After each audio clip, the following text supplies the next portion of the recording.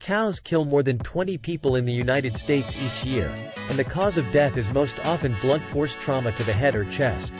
Most victims are farm workers who are trampled, crushed or gored.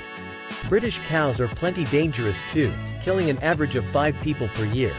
While bulls are known for aggression, female cows are just as likely to kill, especially right after they've birthed a calf.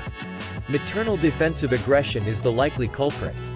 Cows are large and powerful animals, and can easily injure a person. A fully grown cow can weigh up to 2,000 pounds and can run at speeds of up to 25 miles per hour.